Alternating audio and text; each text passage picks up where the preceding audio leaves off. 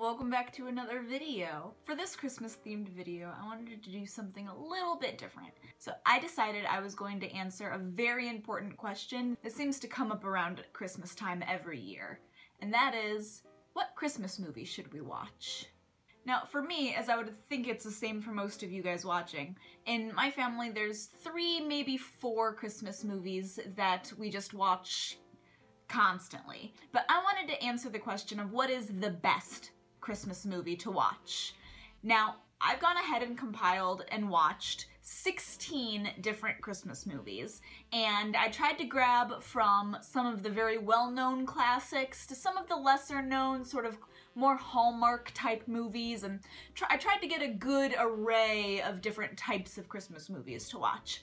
I've sat down and watched every single one of these 16 Christmas movies and scored them based on a few key things that I thought were pretty typical to look for in every Christmas movie. And that is the lesson learned in the movie, the Christmas lesson sort of moral of the story, how well that was portrayed, the feelings felt from that lesson learned, the overall humor of the movie, because Christmas is an exciting time of year, so you would think a Christmas movie should have humor and happiness in it. And then the overall Christmas theme of the movie. Was this movie, if you watched it, did it help get you in the Christmas spirit? I watched all 16 of these movies, and although I watched them over a span of a month and a half, I did make sure to score them from 1 to 10 in each one of those four categories immediately after watching each movie to give it the most accurate score possible.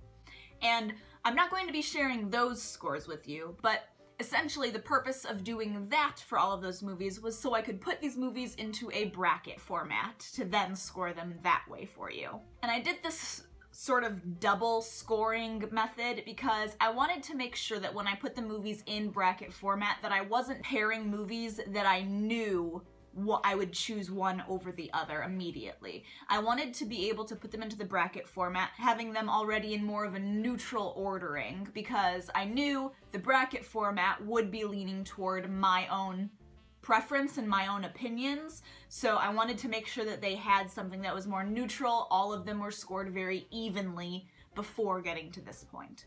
So the traditional bracket format is you have all of the teams or movies or whatever you're scoring and you go and put them against each other from the best and the worst. So, like in my case, I have 16 movies. So I would have movie number one paired with movie number 16, and movie number two with movie number 15, and so on down the list. Alright, so now we're going to go through each one of the brackets and I'm going to essentially walk you through the decisions that I made and why I made them. So for the first pairing, we have National Lampoon's Christmas Vacation and The Nightmare Before Christmas. Now, National Lampoon's is a classic in our family and it's one that we watch almost every single year and we absolutely love it. The Nightmare Before Christmas, however, is slightly less of a traditional Christmas movie, but there is still a lot of Christmas around it, and it does take place around Christmas. So I thought, you know, this is a good movie to add into this list of 16. Of these two movies, I chose to move on to the next round, National Lampoon's Christmas Vacation. And the reasoning behind that was, of the two movies, I thought National Lampoon's is much more of a traditional Christmas movie.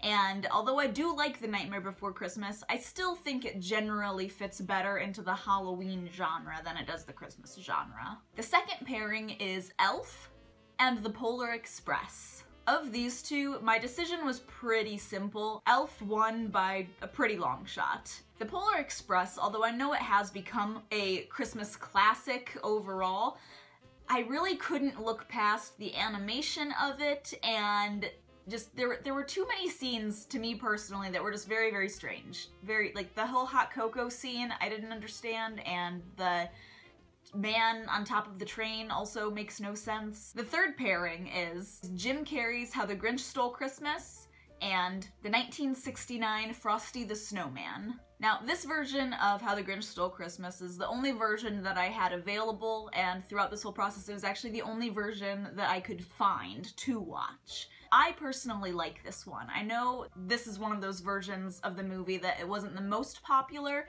but I ended up choosing this over Frosty the Snowman to move on to the next round. Frosty the Snowman is very much a classic Christmas movie, but it had such a low ranking to begin with because it's more of a very cute, whimsical type movie with really no moral, whereas The Grinch does have a very good moral attached to it. So that's essentially why The Grinch won out over Frosty. The next pairing is The Muppets Christmas Carol and the 1968 The Little Drummer Boy. Now, prior to doing this video, I had never seen The Little Drummer Boy, so I did not know what to expect at all when I watched it, and I was actually pleasantly surprised. Now, there really is not much humor at all involved in that movie, in contrast to The Muppets Christmas Carol that has lots of humor in it. And overall, for a Christmassy theme, the Muppets Christmas Carol ended up winning this round. The next pairing is A Charlie Brown Christmas and the first Home Alone.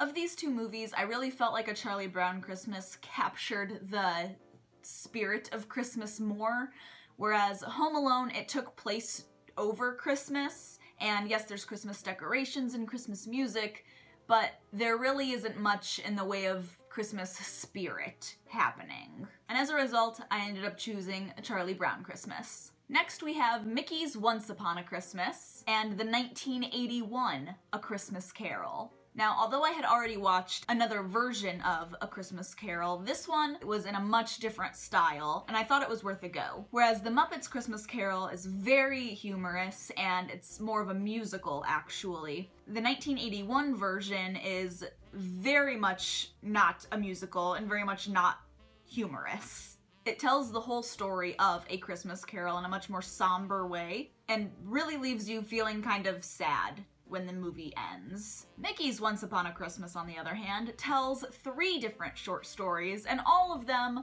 tell very good different morals and leave you feeling much more in the Christmas spirit.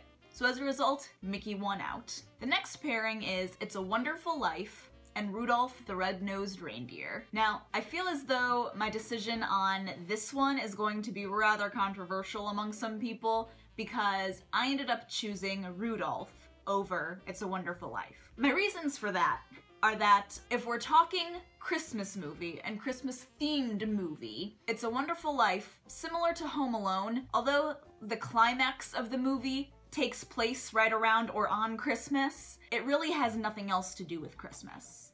I don't recall anywhere in the movie them talking about all of the townsfolk coming together and giving him the money that they owe as a Christmas miracle, or the angel talking about him getting his Christmas wish of never being born.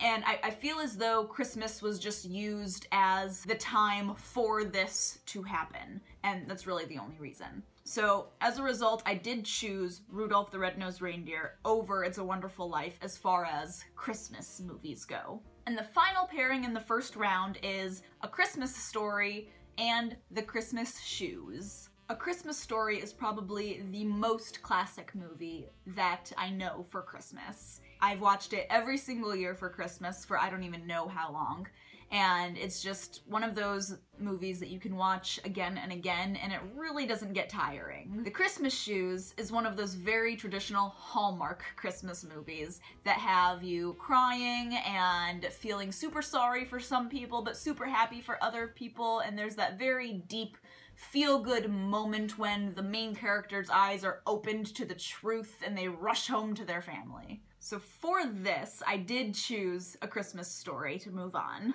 Moving on to our second round, we have National Lampoons versus Elf. This was a much more difficult decision for me to make because, like I had said previously, both of these movies are classics in my family.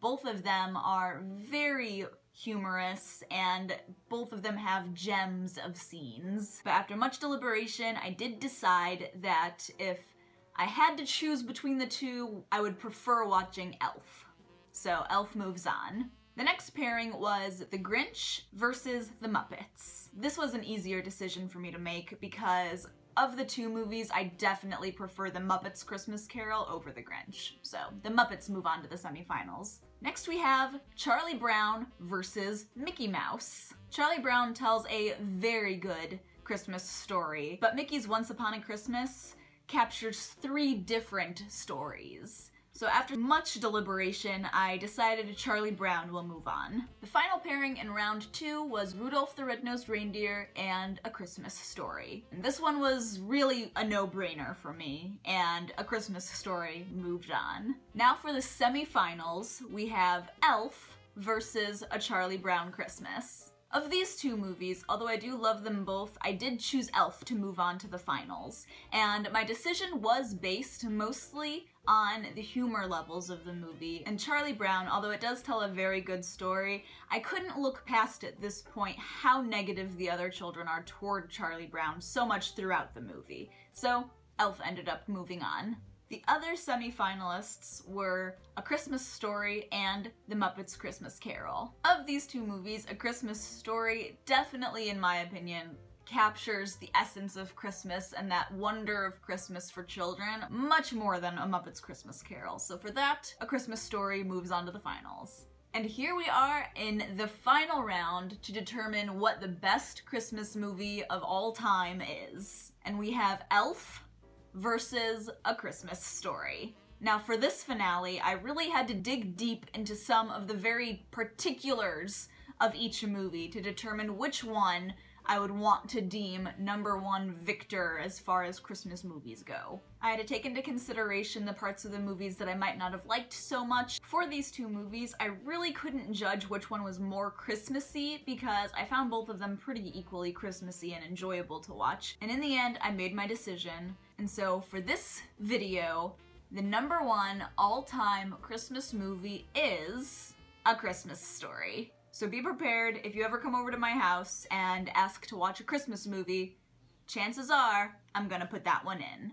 Let me know in the comments below how your bracket would turn out. If you were to do this exact same bracket with these exact same 16 movies, which one would end up winning for you? I'll put a template in the description of this video so you can copy and paste it into the comment section and fill out your own bracket so I can see what yours would look like. Make sure if you enjoyed this video to give it a big thumbs up and subscribe if you haven't already because all of my videos this December are gonna be Christmassy themed. I hope you have a great week and don't forget to join me on Sundays because I'm posting weekly Vlogmases as well. Have a great week and I will see you guys next time. Bye!